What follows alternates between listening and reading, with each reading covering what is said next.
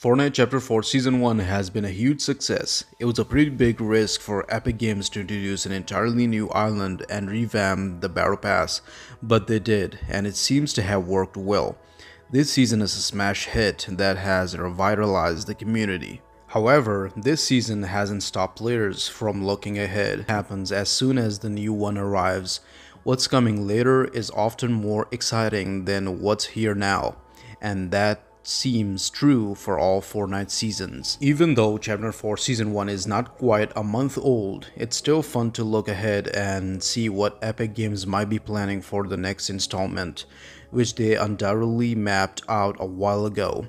As of now, here's what I know about Chapter 4 Season 2. The first and perhaps most important thing we know is the tentative release date. This aspect can change as we have seen in the past, but it's March 11 for Chapter 4 Season 2. Since the in-game Battle Pass ends on March 10, this date has been deduced. There's a possibility of downtime, especially if the season ends with something big or the next one introduces several changes. However, we probably won't see another chapter change, so the downtime won't last that long. On this assumption, March 11th is the very safe estimate. There's a chance that Fortnite Chapter 4 Season 2 will be available on iOS devices. Tim Sweeney, Epic CEO, tweeted a cryptic message about it. Epic Games is embroiled in a controversy with Apple, and until that's resolved, the game won't be available on that platform. However, a resolution might be in sight.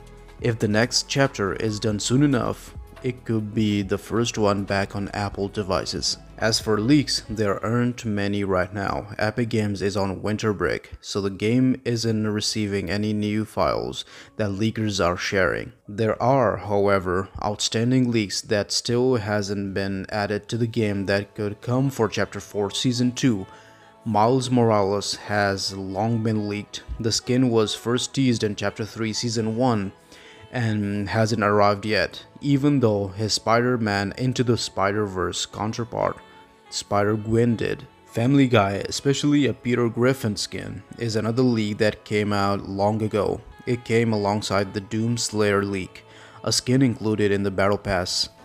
Peter Griffin could be on the way soon. Gray Fox from Metal Gear was spotted in the Chapter 4 Season 1 trailer, but has yet to arrive. It's possible he's being saved as part of a collaboration for the upcoming release. When Epic Games begins working again, more leaks will come. With Chapter 4 Season 2 growing closer every day, we'll get to know a lot more about the upcoming additions to the game. So that's it for today guys. Let me know what you think about that and also don't forget to subscribe and I'll see you on the next one.